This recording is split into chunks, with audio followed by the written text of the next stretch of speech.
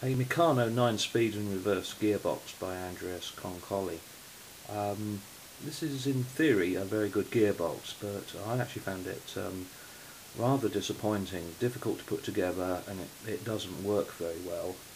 Um, also, I found these frames to move the gears um, very much overkill, um, so I did a redesign on that. Um, there are also some mistakes in the manual, though none of them are that, that serious. Um, but anyway, let's have a look at the model.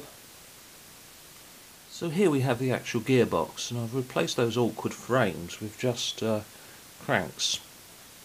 Um, and they are not allowed to turn on their rod. So they just uh, grip the these three gears here and these four gears down here.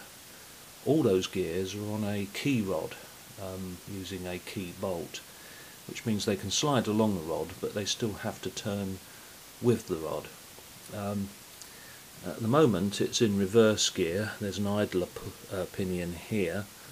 Um, I won't show that. Um, uh, the forward, first forward gear is, um, get it across, is there. So that's a one to one ratio. If I turn that it now goes down on that gear for a 2 to 1 ratio. Um, move that across a bit, we get a 1 to 3 ratio. And finally, there's a 3 to 1 ratio. Let's move that back and move this more over to there. Right, now that's um, a 1 to 3 ratio. So with that gear also, we get um, 2 to 3. I hope I'm getting this right. and then the very highest ratio here, that's um, that's 1 to 9. And, uh, oh dear, let's get that out of the way. Um, and finally 1 to 1. So that's um, 1 to 3 and 3 to 1, and they effectively cancel out for 1 to 1 and uh, then we can move this over right to the end to a uh, 4 to 1 gear ratio.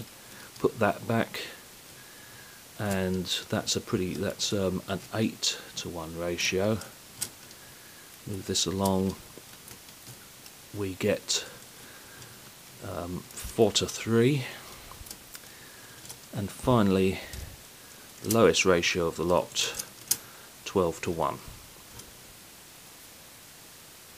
Um, the only other thing I'd say about this is that this key key rod here and this coupling to a normal rod is a, a bit um, a bit over enthusiastic.